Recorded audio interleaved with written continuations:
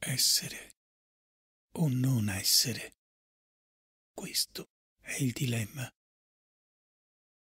Se sia più nobile nella mente soffrire i colpi di fionda ai dardi dell'oltraggiosa fortuna, o prendere le armi contro un mare di affanni e, contrastandoli, porre loro fine. Morire, dormire, nient'altro, e con un sonno dire che poniamo fine al dolore del cuore e ai mille tumulti naturali di cui è erede la carne. È una conclusione da desiderarsi devotamente. Morire dormire. Dormire, forse sognare.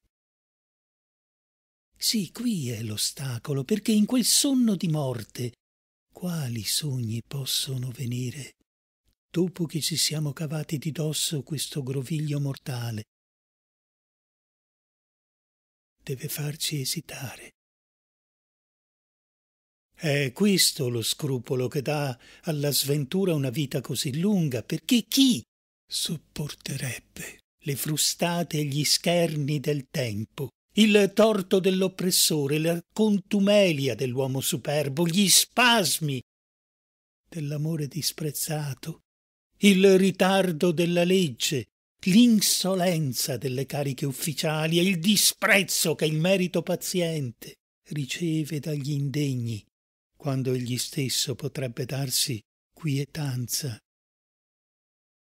con un semplice stiletto.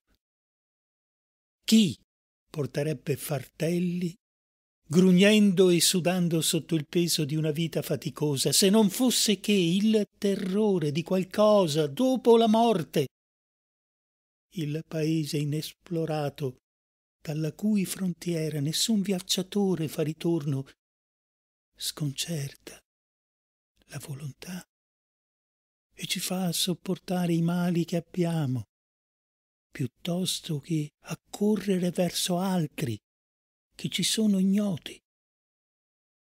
Così la coscienza ci rende tutti codardi e così il colore naturale della risolutezza è reso malsano dalla pallida cera del pensiero e imprese di grande altezza e momento. Per questa ragione deviano dal loro corso e perdono il nome di azione.